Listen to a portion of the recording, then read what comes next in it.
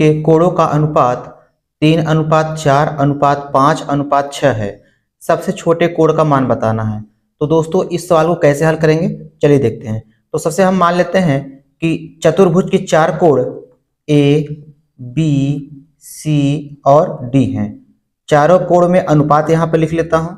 तो चारों कोण में अनुपात दिया है दोस्तों, तीन, चार, पाँच, छः। तो इसको ऐसे लिख लेता हूँ। तीन अनुपात चार अनुपात पाँच, अनुपात छः। तो सबसे पहले हम अनुपात को यहाँ हटा देते हैं। तो ए का मान यहाँ निकल के आएगा तीन एक्स ए का मान हो गया तीन एक्स उसी प्रकार से यहाँ बी का मान निकालेंगे दोस्तों। बी का मान निकालेंगे तो बी का मान हो जाएगा चार एक्स फिर उसी प्रकार से हम सी का मान निकालेंगे तो सी का मान हो जाएगा पाँच एक्स फिर उसी प्रकार से निकालेंगे यहाँ डी का मान तो डी का मान हो जाएगा छः एक्स हो जाएगा। तो हम जानते हैं दोस्तों कि चतुर्भुज के चारों कोणों का योगफल तीन सौ साठ अंश होता है। तो चारों कोणों को जोड़ के यहाँ तीन सौ साठ अंश लिखते हैं। तो कोण ए प्लस कोण बी प्लस कोण सी प्लस कोण डी बराबर तीन सौ साठ अंश। चतुर्भुज के चारों कोणों का योगफल तीन सौ साठ अंश होता है। तो अब यहाँ पे हम क्या करेंगे दोस्तों? सबका मान रख देते हैं। ए का मान रख देता है यहाँ पे तीन एक्स बी का मान रख देता हूँ चार एक्स प्लस सी का मान रख देता हूँ पाँच एक्स प्लस डी का मान यहाँ रखेंगे। डी का मान यहाँ पे दोस्तों दिया है छः एक्स और बराबर तीन सौ साठ अंश। तो इसको जोड़ लेता हूँ। चार तीन सात सात पाँच बारह बारह छः अठारह। अठारह एक्स बराबर मिल गया तीन सौ साठ अंश। तो यक्स का मान निकालेंगे दोस्तों यहाँ पे। तो अठारह से काटेंगे इसको, ये बीस बार जाएगा। यक्स का मान आ गया बीस अंश। अब हमसे पूछ रहा है कि सबसे छोटे कोण का मान बताइए। तो सबसे छोटा कोण इसमें कौन सा है? तीन यक्स है। सबसे छोटा कोण ए है, जिसका मान है तीन यक्स तो इसी में हम यक्स का मान रख देंगे, छोटा कोण पता चल जाएगा। तो सबसे छोटा कोण यहाँ हो जाएगा ए बराबर तीन यक्स ए का मान हो जाएगा तीन गुड़ते यक्स का मान रखेंगे दोस्तों यहाँ पे बीस।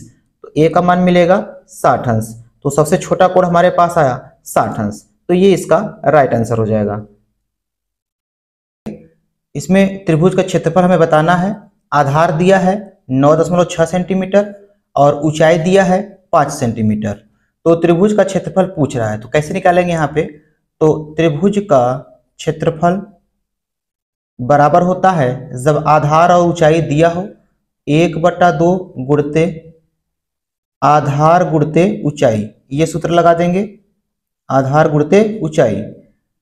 तो एक बटा दो गुड़ते आधार कितना दिया है दोस्तों? नौ दशमलव छह दिया है। गुड़ते ऊंचाई दिया है पाँच सेंटीमीटर तो यहाँ पाँच रख देंगे। तो चलिए देखते हैं, इसको कैंसिल करते हैं। दो से इसको कैंसिल करेंगे तो ये जाएगा दो चौका आठ दसमलव लगाएँगे, और दो अठे सोलह। अब गुड़ते यहाँ बचा पाँच। अब इन दोनों संख्याओं को गुड़ा कर लेता हूँ। पाँच अठे चालीस, हासिल लगा चार। पाँच चौक बीस और चार, चौबीस। चौबीस दशमलव ज़ीरो। मात्रक कितना है? मात्रक सेंटीमीटर है। तो क्षेत्रफल का मात्रक सेंटीमीटर और दो घात लगा देंगे यहाँ पे। तो त्रिभुज का क्षेत्रफल आया दोस्तों 24 वर्ग सेंटीमीटर। ये इसका आंसर हो जाए उस त्रिभुज की ऊंचाई ज्ञात कीजिए, जिसका क्षेत्रफल 45 वर्ग सेंटीमीटर तथा आधार 15 सेंटीमीटर हो। तो कैसे लगाएँगे दोस्तों इस सवाल को? तो चलिए देखते हैं। त्रिभुज का क्षेत्रफल दिया है पैंतालीस वर्ग सेंटीमीटर। तो सबसे पहले त्रिभुज के क्षेत्रफल सूत्र लगाते हैं यहाँ पे। तो त्रिभुज का क्षेत्रफल बराबर होता है एक बटा दो गुड़ते आधार गुड़ते ऊंचाई। आधार गुड़ते ऊंचाई। तो त्रिभुज का क्षेत्रफल दिया है दोस्तों 45 वर्ग सेंटीमीटर। तो क्षेत्रफल नीचे लिख देंगे 45 बराबर एक बटा दो गुड़ते आधार दिया है दोस्तों 15 सेंटीमीटर। तो आधार नीचे लिख देंगे 15 गुड़ते ऊंचाई हमसे पूछ रहा है। ऊंचाई को हम मान लेते हैं यच। तो इसको कैंसिल करते हैं। पंद्रह एक का पंद्रह पंद्रह तिया पैंतालीस। तो तीन में ये दो का गुड़ा हो जाएगा, तीन गुड़ते दो बराबर इधर यच बचेगा, तीन दूना छह सेंटीमीटर।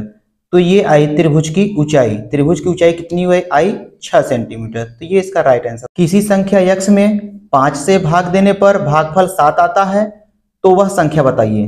तो चलिए दोस्तों, देखते हैं यह कैसे प्रश्न हल होता है। तो सबसे पहले दिया है संख्या यक्ष। यक्ष में कह रहा है कि पाँच से भाग दे दे, दिया जाता है। तो पाँच से जब भाग देते हैं दोस्तों, भागफल आता है हमारे पास यहाँ पे सात। तो हमसे कहता है कि वह संख्या बताइए। मतलब इस यक्स का मान हमें बताना है। तो इसको हम ऐसे लिख सकते हैं। भाग को बटे में इसको ऐसे लिख देता हूँ, यक्स बटा पाँच। बराबर हो गया सात। तो क्या करेंगे यहाँ पे? पाँच भाग में है, उधर जाए गुड़ा हो जाएगा। तो सात में पाँच गुड़ा कर देंगे तो सात पचे पैंतीस। तो वह संख्या आई पैंतीस। तो ये राइट आंसर हो गया। किसी राशि का पाँच परसेंट छह सौ रुपये के पंद्रह परसेंट के बराबर है। वह राशि ज्ञात कीजिए।